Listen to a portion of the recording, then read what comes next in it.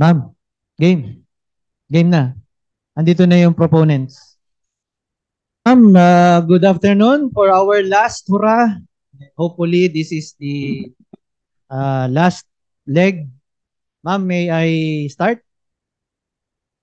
3.26 po. I will try my best. Tapusin natin to by 4 o'clock para mabigay po yung guidance sa atin kasi yun yung mas importante. Okay. Now let's uh, talk about resource management. So, ang tanong po, Sir Ma'am, ng marami ay bakit po si PRMD nandito? Hindi. Hindi. Wala bang representative? Hindi ba ikaw? Oo. Ay, inyo. so, sorry, sorry. I thought Ah, sige, di bale. At uh, anyway, mamaya natin siya i-involve pero for now, let me just uh, highlight lang po natin yung ating logistics and finance. Ayan. Okay. So, financial muna po tayo, no? So, makikita po ninyo diyan yung reform of budget system as one of the initiatives uh, bottom-up budgeting and downloading of funds, lower units of MSUs. Tanong po, kasama po ba yan sa hinahanap sa inyo sa finance? Initiatives new rin po ba ito? Ah, I don't know, yan. Nabasa nyo na ba yan sa mga trabaho ninyo sa finance? Kasi yan, program ng ano yan, ng DC. Okay? Hindi, yun. Nababasa mo dyan. Do you understand pala PPAs and the differences of what is PPA? Ikaw. Yun yun, sure. Program,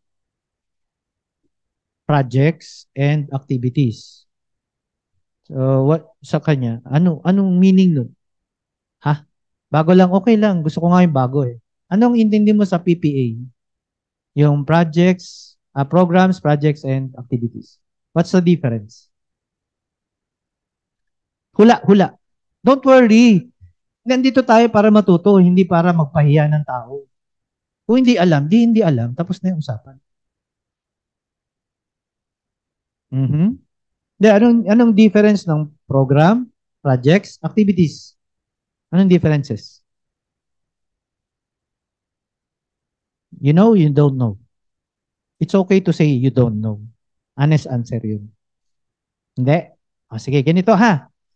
Programs, yan yung high level.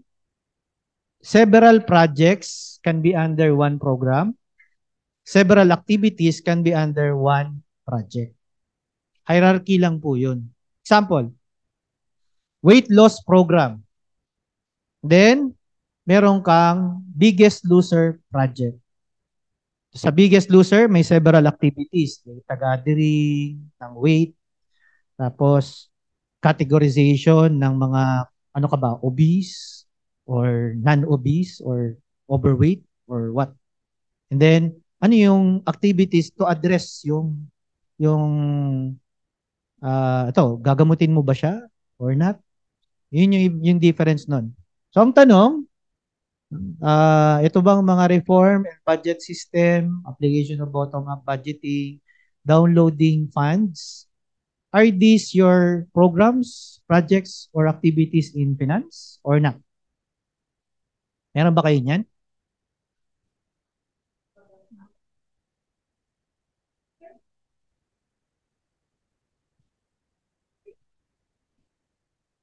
Sige, tingnan natin ha. Good question. Bukod tangi, ikaw lang nagtanong niyan. Kaya hindi ko sinasagot yung mga ganyan dahil ay, nagtatanong. Hmm, ikaw lang. Sure, no problem. Uh, so for that, by the way, pag uh, kayo po ay gagawa na ng ating mga bagong measures, kung meron man, uh, in your case, wala kasi kayo initiative. Eh. Uh, wala kayong projects program. Uh, so, yun lang ang sinasabi ninyo. Pero wala kayong initiative profile. For every initiative, dapat may initiative profile. Ano po yung itsura ng initiative profile? Ito po yun. Yan. No? So meron pong mga criteria yan. By the way, hinahanap po yan sa institutionalization audit. Uh, so yan. Hindi pa po. Ito po yan. Punta natin yung dulo kasi dulo yan. Ito ba yan? Yan natin ha. Yan, downloading of funds. Yan yun. Lakihan ko ba? Yan. Actually, hindi pa nga masyadong ano to eh. Meron kayong ganyan? Kanino? Oo nga, pero pinako-comply ba kayo? O, yun naman pala eh. Pinako-comply pala kayo eh. Ba't di nyo isama? Kaya nga, kung kinuko, pinako-comply kayo, initiative nyo rin ito. Yun ang ibig sabihin. Ganito lang po, no? Our scorecard is a reflection of what is important to the organization. Kung meron kayong ginagawa dyan at pinagkakaabalahan nyo yan, dapat ilagay natin sa scorecard. Hindi dahil para para lang may magawa kayo o may contribution kayo. Rather, eh kung ginagawa ninyo, eh di ilagay natin sa scorecard natin para nakikita ng ating strategic partners. Okay? Ano pa? Ito pa. Bottom-up budgeting. Yan. Yan yung sinasabi mo. May ganyan po ba kayo, initiative profile? Kasi kung wala, dapat meron kayo niyan. So, ang kagandahan, may template na. Copy-paste na lang. So, i-try nyo lang po, no? I-try nyo lang pong basahin ito. And then, uh, try nyo kung applicable po sa inyo. O baka naman kasi ginagawa nyo na. Kung ginagawa nyo na, eh, ba't, ba't di pa natin totohanin? Nandyan pala eh. Yan pa lang so far. Ganito na lang, no? Bigay namin yung kopya sa inyo. Oo, no? Bigay, bigyan namin, basahin nyo. Yes. Uh, which is yun naman po yung objective natin. No? Uh, we're just here to present to you and give you the guidelines. Okay. Sige. So, yan po yung sa finance, ano? Sa finance. Now, specific naman po sa atin dito, uh, yun po yung mamayang medyo may mahaba tayong usapan, which is na carry over naman natin before. Tandaan po natin yung DOH license. Di ba po, meron pong funding yun? May magkano doon? Magkano kaya yung DOH license? So, nung una, sabi mo, sino gumagastos noon? Di ba? Pro ba? Tayo ba? O MOE ba nila? So, hindi natin alam. Regardless, kung kanino po kinukuha yung pondo, ang tanong po, nababayaran ba? At meron bang pondo allocated for that? Regardless kung saan siya nanggaling. Sa inyo po, ang importante po sa inyo, magkano? And then, tatanungin nyo ngayon yung region, saan mo kinuha yung pera mo? Diba? Kasi importante malaman natin. Baka mamaya, out of the 100%, 50% kinukuha nila sa pro. Tapos yung 10% kinukuha nila on their own budget. 30% sabihin na lang natin, kinuha nila sa ibang sources. Hindi ko alam kung ano yun. And then another 10% libre. Ang tanong kasi dyan, during our operations review, paano nyo na libre? Ang galing nyo naman. Best practice ata yan para makatipid tayo. So, paano nila ginawa yan? Dapat pakwento natin dun sa RMDU na na-libre nila yung kanilang DOH license. Hindi ko alam kung meron. Nanguhula lang ako. Hypothesis ko lang yon. Pero for now, hindi kasi natin alam at hanggat hindi natin kinukulit. So, hindi nyo masyadong issue yon kasi ang kailangan nyo lang malaman magkano. Magkano nga ba yung lisensya? Kasi cyclical every year, ano? So magkano din yun? I-accumulate for 10 years, di mahal-mahal din yun, di ba?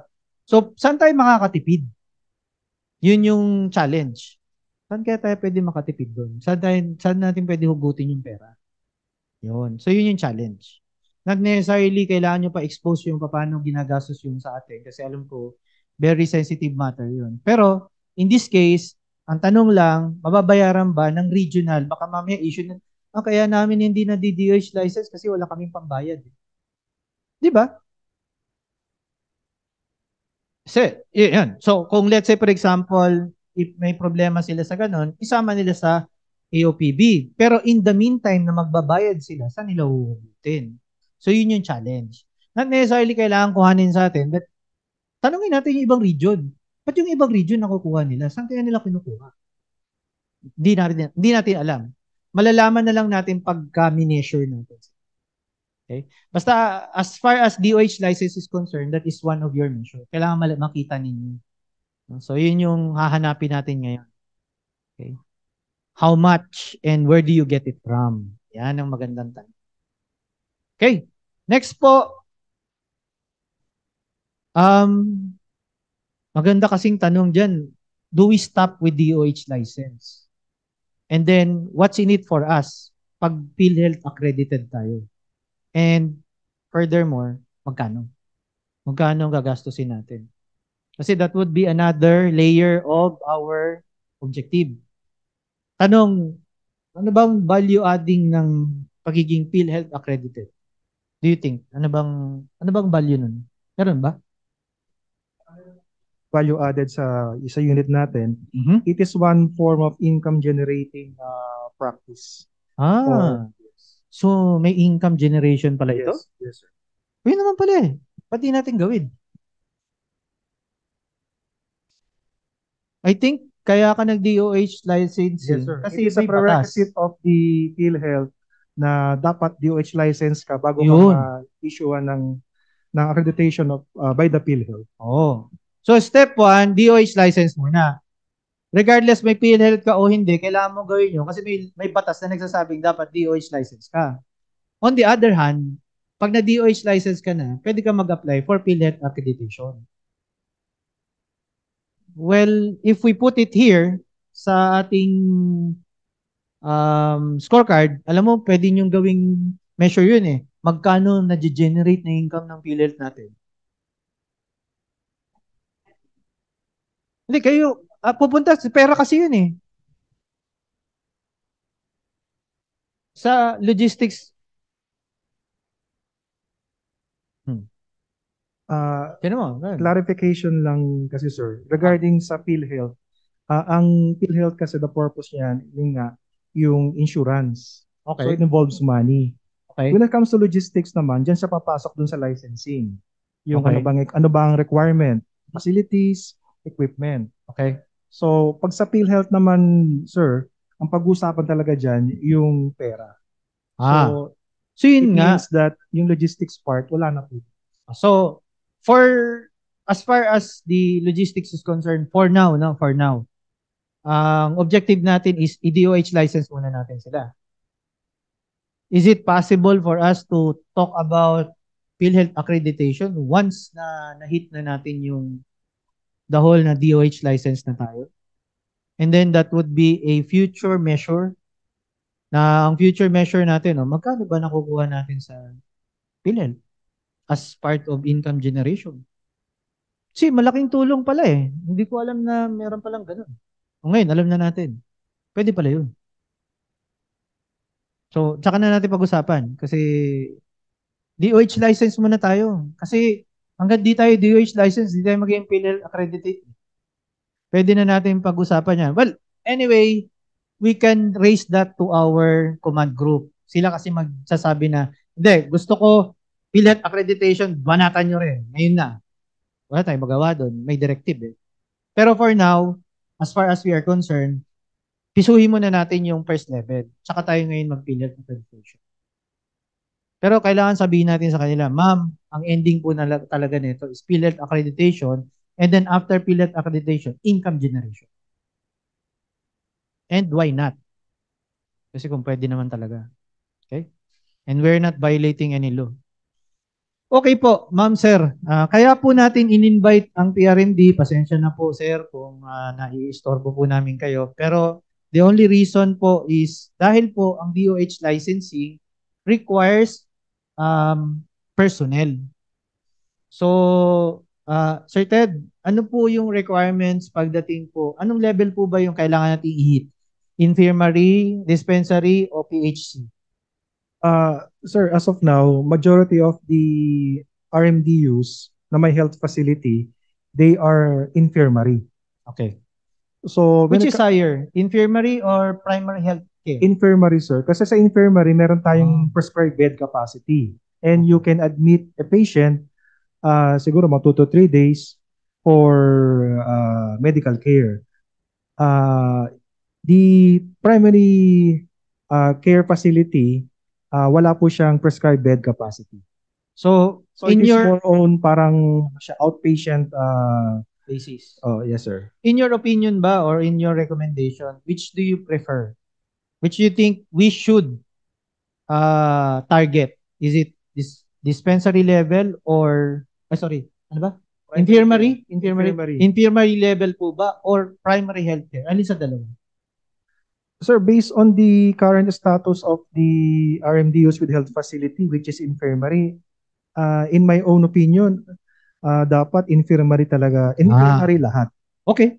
Okay. If that's the recommendation, then we hit yung infirmary. Question na lang po. Ah, andito po yung PRMD. Ano pong minimum requirements ng personnel para ma-approve po yung DOH license ng infirmary level? Uh, with regards to the exact number of personnel, hindi ko po kabisado yan. Uh, but uh, mer it, uh, syempre, it composed of the doctors, nurses, Mhm. um, cle- uh, clerks. Okay. Uh, marami sir, marami po siyang re- Sige. personal Um, requirements. is it possible uh, for tomorrow, masubmit po natin yung minimum requirements? yes sir. Tapos i-course through natin kay PRMD para sila naman maplano din nila. Ah, ito pala yung balak natin, ito pala yung target natin, infirmary. Kailangan dalawang doktor, apat na nurse, so so on and so forth. Kailangan meron tayong basic requirement para at least PRMD now can can create their career development plan para mapilapan natin yung mga yun. Okay.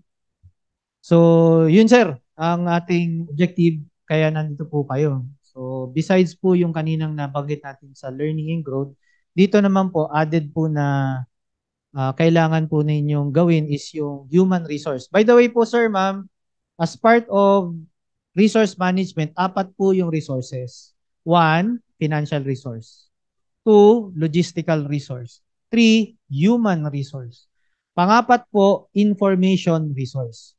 For now, hindi pa masyadong tinututukan yung information resource. Pero in the future po, kakailangan po natin magkaroon ng measure dito.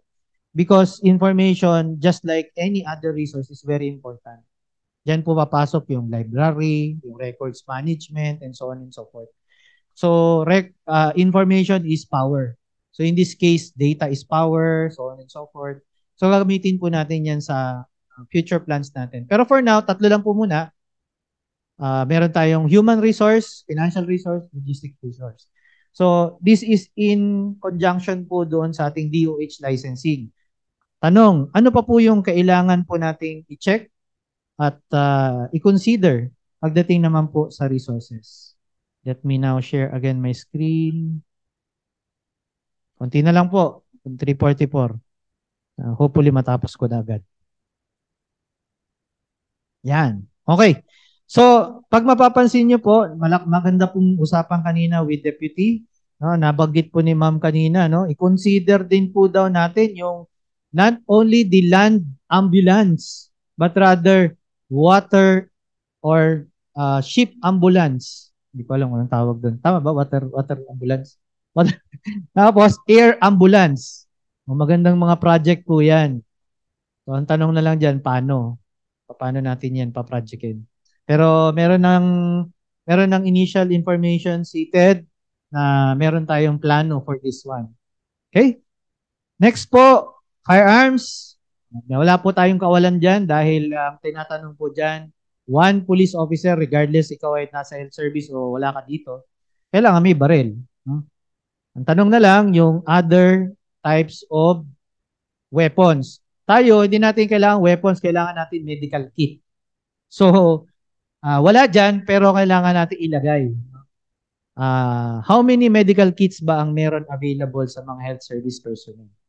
And then, um, depende sa kit. Merong individual first aid kit, meron din pong squad kit, and other kits.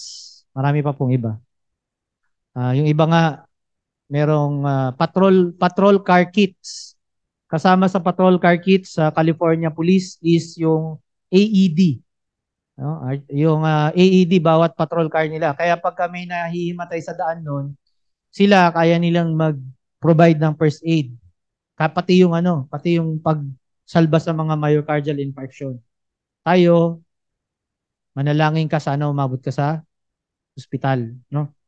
Ah, CPR lang kaya natin gawin. Kaya nga may BLS. Okay. So, next po, communication, radyo. Ang tanong po dyan, ilan po radyo na required po sa mga ating mga units? Meron ba? Wala? Ganon? Also have a uh, PNPMC regarding that. Uh, PNP, PNPMC about TEA or table equipment allowances. So for the handheld radio, 15% of the authorized uh, personnel. Ah, So yung po pwede natin ibigay. Uh, that is for NHQ base. For RHQ base o yung RMDU, 30% of the authorized strength. We can issue communication equipment. sige. Um, itry na nating i-monitor ha? so that kung ma 100% naman yan, good. Like, uh, oh, sabi mo nga, 30%. Kung na-reach na natin yun, di wala tayong problema. Pero maganda lang po na meron tayong contribution dito sa minomonitor nila sa taas. Next is investigate investigative equipment. Wala naman tayong investigation dito unless ikaw ay DLOS. Pero in this case, may we recommend po yung pong um, diagnostic equipments. Pang-imbestiga natin yun eh.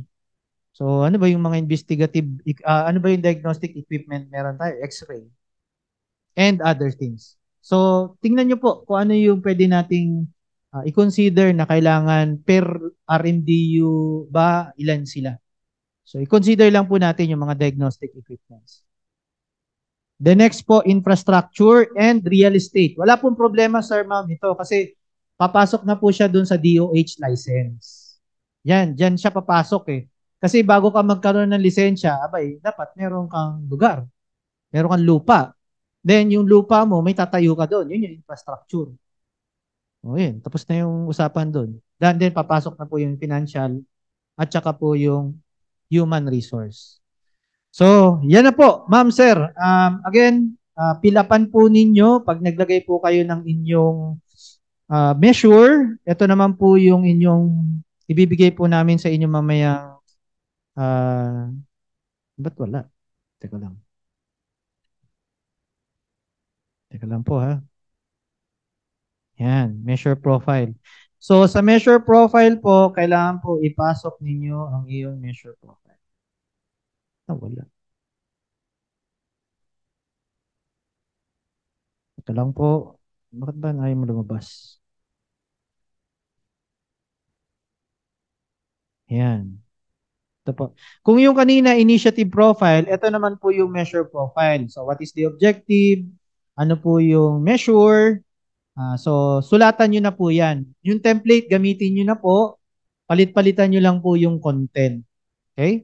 Palitan nyo po yan and then uh, for now po, draft lang naman po. Okay pong magkamali. Don't worry. Mistakes happen. Pero for us, since hindi pa po kayo gamay dito, just put everything that you think is applicable dyan sa mga tanong. How is the measure calculated? And then so on and so forth. Okay? Um, isasabit po ninyo yan tomorrow kasama po ng ating revised po na scorecard. Okay? Uh, okay lang po, sir ma'am. Sabi ko nga sa inyo magkamali. Iko-correct po natin yan tomorrow. Kami na po bahala ni ma'am. Anyway, uh, that ends my presentation. Mag maraming salamat po. At uh, natapos na po ako after one day. Yes. Ah. Okay. So with that, ma'am, let na, ma'am, I have now rest my case as the as the uh, lecturer and uh, facilitator for this workshop.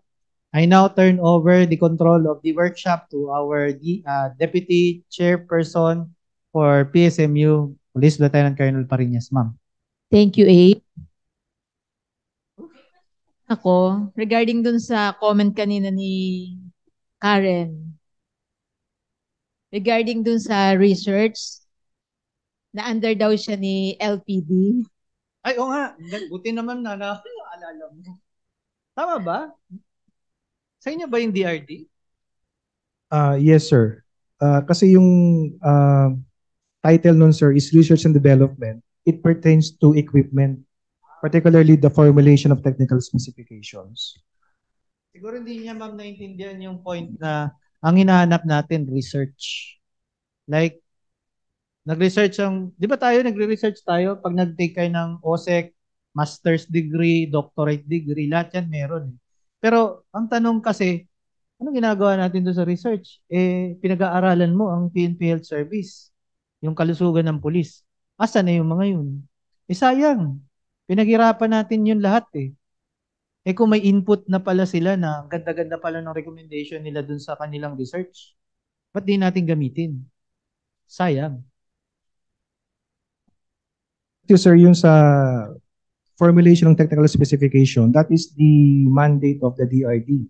Mhm. Sila po ang uh, office in charge of uh, formulation, ano bang kailangan na specification sa particular equipment. Sa level ng logistics, sir, I think uh, we cannot uh, align with that kasi wala na, hindi naman po tayong approving body ng mga Okay. technical specification. Is it with the DRD? Alright. So, hindi tayo pwede mag-align dun, sir. Question lang. Yung bang mga current nating, kunyari, first aid kit, are we designing our own first aid kit? Can we design our own? Pero pwede. Hmm.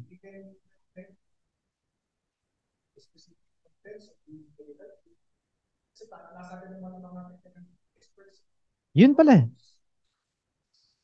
So, yun. Yun yung ibig sabihin. No? Um, we are using a lot of equipments, different different brands. Tanong, are we checking or evaluating these equipments? Baka naman fit of fit for our purpose pa ba talaga ito?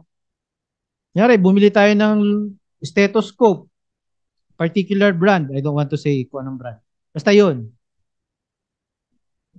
Okay ba siya? Tumagal ba siya? Kumusta naman yung eh, performance niya?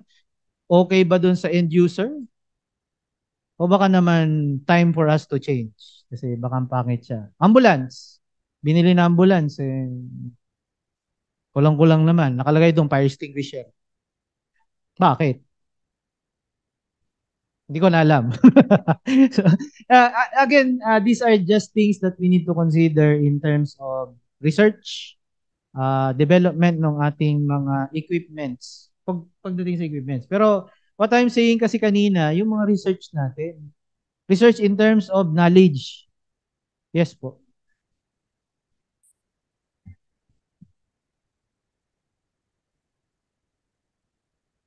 Like, Um, ah, oo, oo nga. Kamo lang ang tanong kasi, ah, ano ngayon kung meron sila? Ang tanong kasi natin dito is, asan yung output? Output. Pwede. Why not?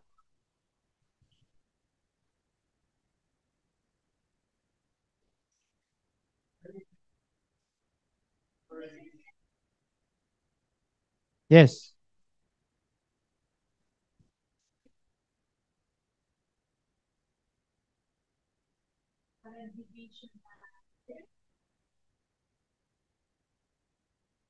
Hmm.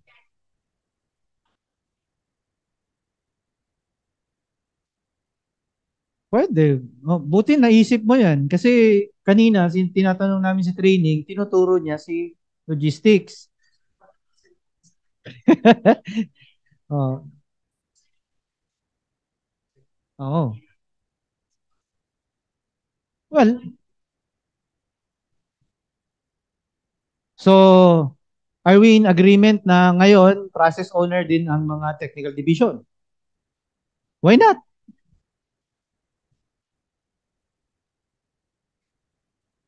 Yes. Yes. Oh, why not, ma'am? Hmm. Problema nga, ma'am, pinasa nga niya sa kanya ng research. Di ba? Kanina, ma'am, di ba sabi ni Karen, ah, hindi, hindi amin yun sa DRD. Si to. Okay.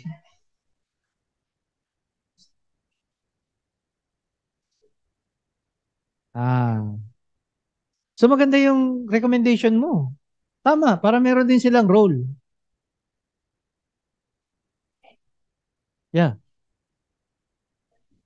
Oh.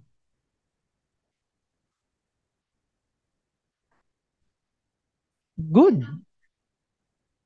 Buti nga naisip mo. yeah.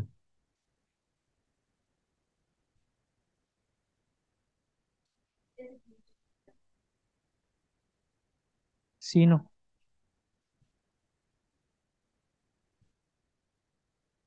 Why not? Collaboration. 'Di ba? Collaboration, ma'am, rather than magtuturuan kung sino yung dapat. Correct. Oh, So, ibig sabihin, kung nag-research ka at ikaw ay doktor, isubmit mo kay technical division. Tapos, bahala si technical division, mag-ip, mag-ipon at uh, mag-collate. I-report niya lang tuwing may scorecard. ah meron tayong operations review. Yes.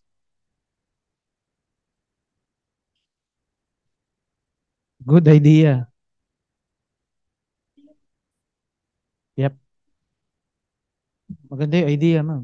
Correct. okay, ma'am. Oo nga. Kasalanan ni DRD yun eh. Kasi yun lang ginagawa niya eh. Pero research ang nakalagay. No? Pero yun lang ginagawa niya. Anyway, baka ma baka ma-misquote ako. anyway, ma'am, that uh, thank you. Um, ma'am, Thanks again. Thank you. Hintayin lang po natin si Ma'am De Leon for her guidance.